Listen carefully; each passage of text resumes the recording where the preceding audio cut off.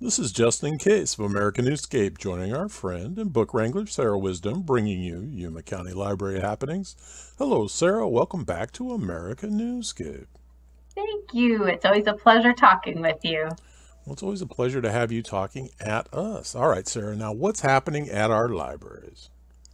Well, I wanted to let people know about kind of a, a different angle on our summer reading program. Uh, if you've been uh, tuning in this summer, you know the theme is Tails and Tales. And so we've kind of been focusing on puppy dog tales and kitten tales and our collaboration with the Humane Society. But there's another kind of tale that we haven't talked about yet, and that is the kind that's attached to creepy crawly critters that sometimes you would probably call pest control to take care of. But we know they have a part to play in the overall ecosystem, right? So we're really glad to have the chance to talk to Dr. Emily Durkin, who studies orth- arthropods. I had to look up that word. It's segmented insects like spiders, centipedes, and like I said, usually stuff you'd call pest control for. But we're glad that somebody takes the time to show them some love and study them and tell us more about their importance in the world.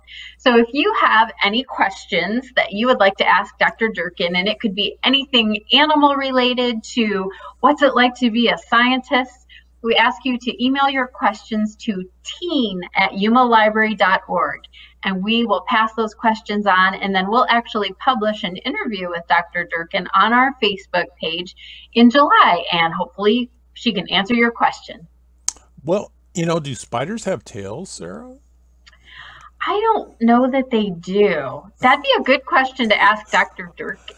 I will send that to Teen. All right, very good. Okay. What else do we have? Uh, along the same lines, talking about science, I thought it was another great opportunity to talk about our citizen science kits. And I have one here to show you today. If you come to the library for a science kit, this is what you're going to get. Wow. So each kit comes in a plastic backpack and it has an activity guide and um, a few items. This is the Studying Biodiversity kit. It has a lens for your smartphone. So when you are out taking a hike or a walk, or maybe just playing in the backyard and you spot an animal or an insect or a plant that you'd like to take a picture of, this kit allows you to do that and then share what you found with scientists that are studying biodiversity here in Arizona. So you really are a citizen scientist. Your finding, findings are going to be shared with scientists who are researching those topics here in Arizona.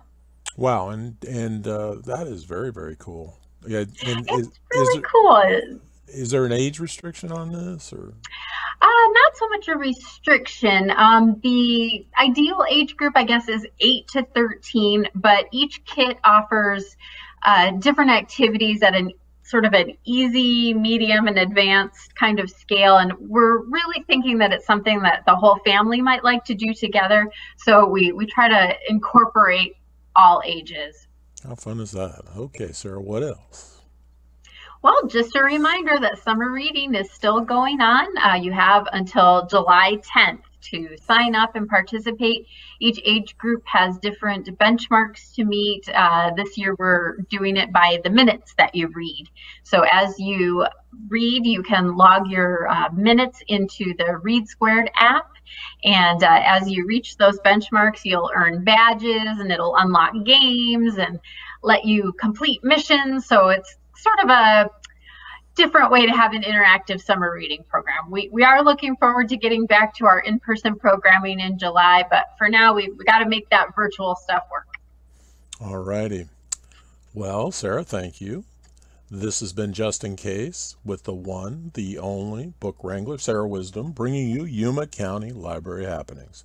Thanks for joining us. Remember, additional information and links are provided in this video's Read More Get your citizen science kit while you're thinking about it. Today's the day to subscribe to this channel and please support book wranglers, libraries, and librarians everywhere.